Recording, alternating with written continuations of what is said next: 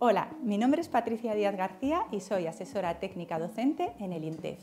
Durante este vídeo os vamos a contar qué es el pensamiento computacional y qué puede aportar al desarrollo de nuestros alumnos. Podríamos comenzar diciendo, en palabras de Janet Wynne, primera persona que utilizó el término, que el pensamiento computacional implica resolver problemas, diseñar sistemas y comprender el comportamiento humano, haciendo usos de conceptos fundamentales de la informática. Pero esto, que parece explicarlo todo, en realidad no nos aclara nada. Así que vamos a ver qué habilidades desarrollamos con el pensamiento computacional y para qué pueden servirle a nuestros alumnos. En el fondo, el pensamiento computacional es una habilidad cognitiva humana que se ocupa de resolver problemas. Y eso, para poder hacerlo, tiene que plantearlos de manera que puedan ser solucionados por una máquina.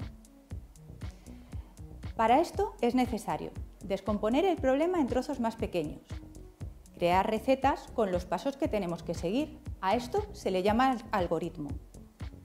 Reconocer los patrones que se repiten y abstraer, fijándonos en las partes realmente relevantes del problema, desechando otras que no tienen tanta importancia. En realidad, al utilizar el pensamiento computacional, estamos enseñando a nuestros alumnos muchas cosas importantes. En primer lugar, a enfrentarse a los problemas sin miedo, descomponiéndolos en partes más pequeñas que sean capaces de asumir y resolver. De cara a un futuro, ayudan a asumir un papel activo a la hora de pensar problemas y buscar soluciones. En segundo lugar, a planificar. No buscamos una respuesta rápida, de esas que estamos tan acostumbrados a recibir. Buscamos una respuesta pensada y estructurada en pasos, que pueda ser entendida por una máquina.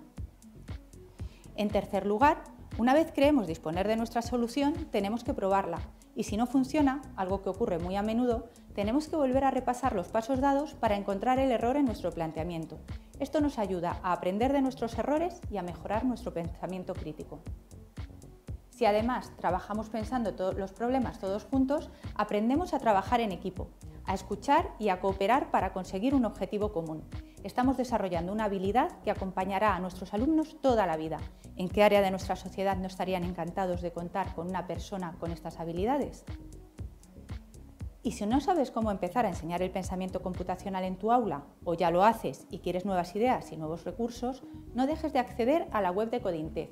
Allí encontrarás un montón de ideas para poner en práctica.